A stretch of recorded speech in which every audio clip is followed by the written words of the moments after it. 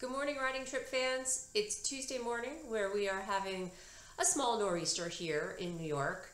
And it is, again, a winter wonderland. But I'm not complaining because, as you know from the last time we chatted, I'm headed to Portugal on Friday. So it's not preventing my travel. And I'm looking forward to not wearing a turtleneck for the first time in a few weeks. But today I want to chat for a few minutes about a question that we get often with regard to the rates of our trips. And the question generally comes down to why is one trip so expensive where other trips are less expensive? And it really comes down to the overhead cost. I mean, it's it's pretty straightforward when you actually break the trip apart. So for example, we have a very popular trip in Ireland, which is our Galway and Clare trail ride. It's a seven night, six day trip. It's really super. I'll actually post a link in the comments below so you can check it out at your leisure. But that trip is uh, is very inexpensive. I mean, it has a high season and a, and a low season, but even the high season is right around fifteen ninety five for the week which is seven nights, six days of riding, all your meals, your accommodations, the transfers of your luggage from place to place. It's an inn to inn ride.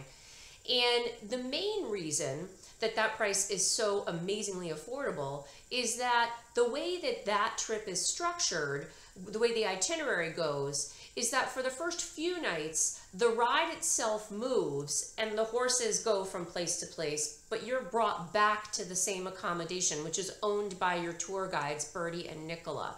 So you're brought back the first four nights to their place. So the overhead cost on that is really just the transportation of, of you back and forth each day.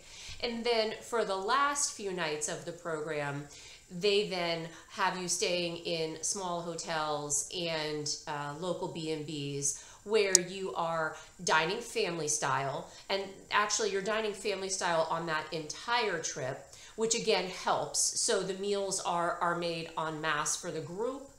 Uh, dietary restrictions are certainly taken into account.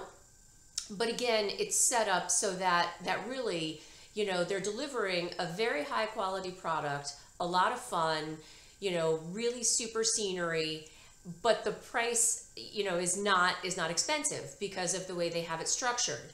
Now, I'm going to flip that and talk about one of our other rides that is more expensive, uh, two of our rides that are more expensive actually. One is uh, a ride in Spain, and in fact, it, it, this pertains to several of the rides in Spain that are run by this one particular operator called Equiberia these rides are more in the realm of like $3,100, you know, inclusive of tax and all of that, just like all of our trips. But those rides are rides where you really don't lift a finger. You you get up, you have breakfast, you come out, and your horses are all ready. Whereas on the Ireland ride, you're catching and grooming your own horse every day. But you uh, your horse is all ready you get on, you ride. Uh, the stops during the day are set up with, with lovely aperitivo stops, which is sort of a mid-morning little refresher where there is juice and coffee and sherry, which is a very Spanish tradition. And, and then lunch is a pretty extravagant detail, again, on the trail, but absolutely lovely. I mean, it's really an elegant picnic lunch, sometimes hot, sometimes cold, always really excellent quality food. And then dinner on those trips, the, the, the Spain trips run by Equiberia, is always in the hotel restaurant. And that there's two pieces to that that I want to chat about. The first is you are staying in five star hotels. I mean, the places are absolutely gorgeous along the way. And when you're dining in the restaurants, the Spanish wine is included with your dinner and you are ordering off the menu. So you have your choice and it's not like you're ordering off of a menu that is, you know, three appetizers, three entrees, three desserts that you can choose from. You're getting the regular restaurant menu. So you have full sort of carte blanche to order, you know, basically anything you want. There are a couple of caveats because the restaurants sometimes have specialty items that are surcharged even for the folks, you know, who are dining not on a riding program. But you would expect that anyway. And so, you know, but it's white tablecloths, it is, you know, the whole full service scenario. And it's just a, and, and the riding is of course spectacular as well again. So, but the, but the primary difference is that you're looking at a different level of accommodation and a different level of service, as well as a place where it's not owned by the guide. So it's complete overhead cost at that point. Uh, and additionally, you're not having, again, to lift a hand. You finish breakfast, you walk out, you get on your horse, and off you go. At the end of the day, you hand your horse over to someone else, and you go and have a, a cocktail after a day of riding. So it's a, it's a completely polar opposite experience. Uh, similar, a completely polar opposite budgetary uh, wise experience is the ride that we offer in Machu Picchu, which is also extremely luxurious. You are literally riding in places that are only accessible on horse or by uh, on foot.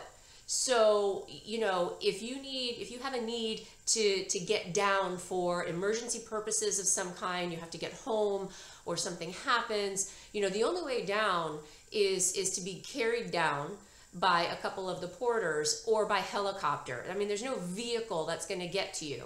So when you pull up on this ride to some of the lodges where you're staying and you walk in and see a squishy down comforter on a bed and you know you hand your horse over at the end of the day and you get a beverage at the bar and you take it out to the hot tub to watch the sunset over the valley and you realize that you're sitting there in a place that is completely isolated. It's not near any village, it's not near any town, and yet you have more than the creature comforts than you would have at home. It's, you know, you, so you go, okay, fine, that trip is in the realm of $4,000, but again, everything has to be brought to you on, on mule. So it's, you know, all the provisions are, are trekked in, you know, not by vehicle, but, but hand brought in so it's, you know, I, and I'll post links again to uh, one of the rides in Spain that I was mentioning from Equiberia, as well as the ride to Machu Picchu, so you can sort of see. But it's one of the things that, that again, we talk about a lot when we see you. We talk about it a lot when we're on the phone with you, but also when we see you at trade shows, because I think sometimes people think, wow, why would I take a trip that's 3,000 or $4,000 when I can take a trip that's $1,600? And I just want to assure you that all of them are exceptional. And, and really, once you go on, on any of them, you, you absolutely will understand what the value is. It's sometimes a challenge for us eh, to, to sort of say to you, look, this is why you should spend that money, you know, because I think you're going to have a really superb time. Once you get there, you totally get it. You're like, totally got it, you know, no problem but it is a little bit confusing when you're just looking at a web page with dates and prices and another web page with dates and prices, you know, and it's kind of hard to understand why you would want to pay double for something. So anyway, I just wanted to share that with you. I will uh, post the links as mentioned, or you can visit the webpage, activeridingtrips.com. I will also, uh, on the next uh, chat with you, have a talk about the places that we work with. Uh, I want to chat about why we choose the places we choose and how we choose them so you understand you know what we look for and why we are so particular about the rides that we offer. But for now, I am wishing you all a happy Tuesday wherever you are. I hope you're having a great day. This is Stacy saying over and out. See you next time. Thanks a lot.